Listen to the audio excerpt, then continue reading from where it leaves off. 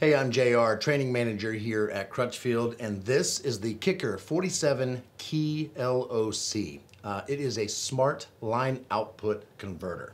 First off, let's talk about what a line output converter does.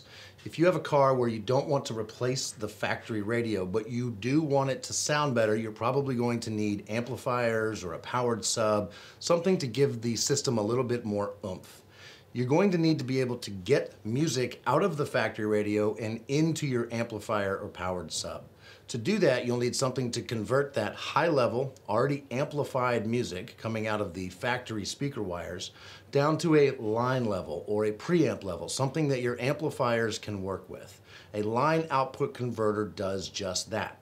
And you can get very inexpensive ones to very expensive ones. This one's kind of somewhere right in the middle, and it's very smart. You'll need something more than a simple line output converter for many modern vehicles, and that's why you need a smart LOC. The reason is in many cars, the speaker wires going to those separate speakers, your tweeters, your woofers, your subwoofers, they are often crossed over, meaning the wires coming from the amplifier going directly to the speakers only carry certain frequencies, the high frequencies for your tweeters, just the bass for your subwoofers, and so on. So it's a good idea to know what you're getting on any particular set of speaker wires in your car.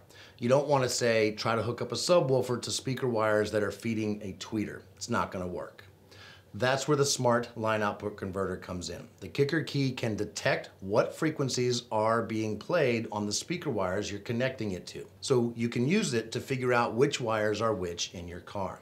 For example, if you're tapping into your tweeters speaker wires, it will detect those higher frequencies and one light will light up. If you tap into a mid-range speaker where it's not getting any bass or high frequencies, a different light will light up. And if you tap into speaker wires that are for a subwoofer where you're only getting bass, another light will light up. And if you find full range speaker wire, speaker wire that carries all of the music, all three lights will light up.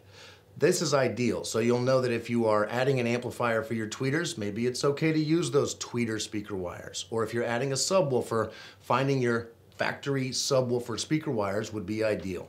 And if you find full range wires, you can use those to add any amplifier you want. Once you've determined which speaker wires you're going to tap into for your amplifier using the Kicker KEYLOC, the DSP that's built in can do some pretty cool things. You'll want to download test tones from Kicker's website and play them on your stereo. And once it detects what it's getting from the factory radio, it can make adjustments and fix problems. For example, some factory radios play speakers out of phase. It can fix that. It can fix a time correction, frequency response correction. It can even defeat all pass filters, which do screwy things to the sound. Once the key LOC is done making its adjustments, you're going to have a nice, clean, strong preamp output voltage up to 10 volts for your amplifiers, which means they'll have to work less hard to give you good, clean signal. The KEYLOC has an auto turn on, which means it can detect when you've turned your stereo on and music is playing. It turns on and starts doing its thing. And you can use that to send a turn on signal to your amplifier so that they turn on and turn off when your stereo turns on and turns off. The KEYLOC is compatible with input of different levels, uh, everything from line level up to a very high amplified uh, level signal. Uh, it can even provide load generation, which is when your factory radio in some newer cars sort of needs to see that speakers are hooked up to it. And when you start adding things like a line output converter, it doesn't detect a speaker and therefore your radio might just not play anything. The KEYLOC can defeat that and make sure your radio continues to play music even though you've added new electronics. So the KEYLOC, in addition to just being a really smart line output converter, can also be used as a diagnostic tool. Those lights that light up with your factory speaker wires will tell you what you're getting on each wire, and many installers may simply use it just for that. It's a pretty cool little device.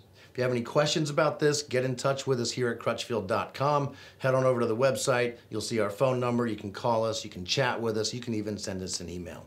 You can also put comments right here in the YouTube video right down below. If you do, we do look at those comments. We will respond to you there. And as long as you're here, go ahead and hit like and subscribe and turn notifications on. And thanks for watching.